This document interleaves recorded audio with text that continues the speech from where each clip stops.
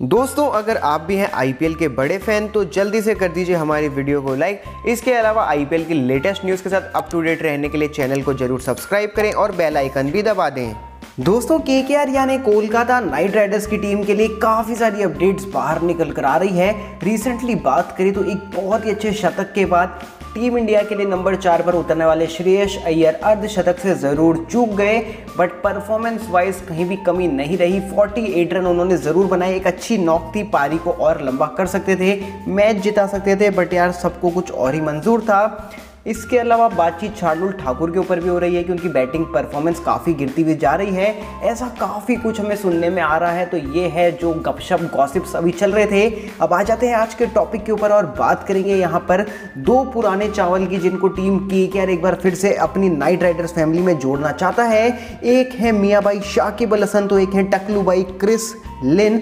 अब मैं आप सभी को बता दूँ कि यहाँ पर दोस्तों क्रिस लिन और शाकिब अल हसन को दोनों को नाइट राइडर्स फैमिली में जोड़ने के लिए एक बार फिर से पुरजोर कोशिश और दमखम लगाया जाने वाला है। अब यहाँ मैं आप सभी को ये चीज़ क्लियर कर देना चाहता हूँ कि यहाँ पर क्योंकि गुरबाज हैं, जेसन रॉय हैं, इसके अलावा चार्ल्स भी लिए गए थे, हालाँकि उनका कोई काम दाम तो नहीं था।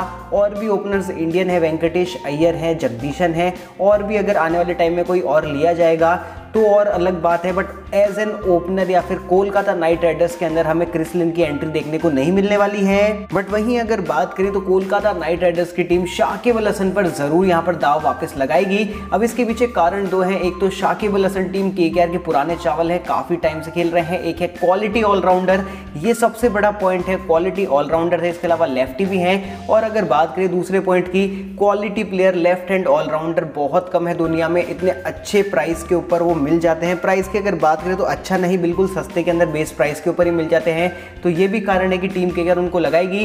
पिछले साल दोस्तों नेशनल ड्यूटीज़ के चलते उन्होंने खुद का नाम कैंसिल कर लिया था क्योंकि वो अवेलेबल नहीं रहने वाले हैं। इससे उनके रिलेशन में तो कोई फ़र्क नहीं पड़ेगा और आप तो जानते ही हो के के आर और जो शाकिब अल हसन है, उनके बीच कितना गहरा रिश्ता है। सो ये दो प्लेयर्स टीम के के आर में हमें नाइट राइडर्स फैमिली में हमें कम करते हुए देखने को मिलने वाले हैं। होपफुली जो ए या फिर एल है, वो यहाँ पर जेसन रॉय और क्रिस लिन को दो या फिर तीन साल के कॉन्ट्रैक्ट के लिए साइन कर लेगा।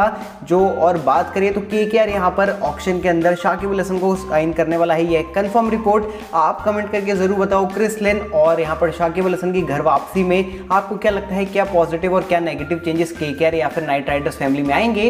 वीडियो को लास्ट तक देखने के लिए धन्यवाद। चैनल पर नहीं हो तो सब्सक्राइब कर देना और वीडियो को ज़रूर लाइक कर देना।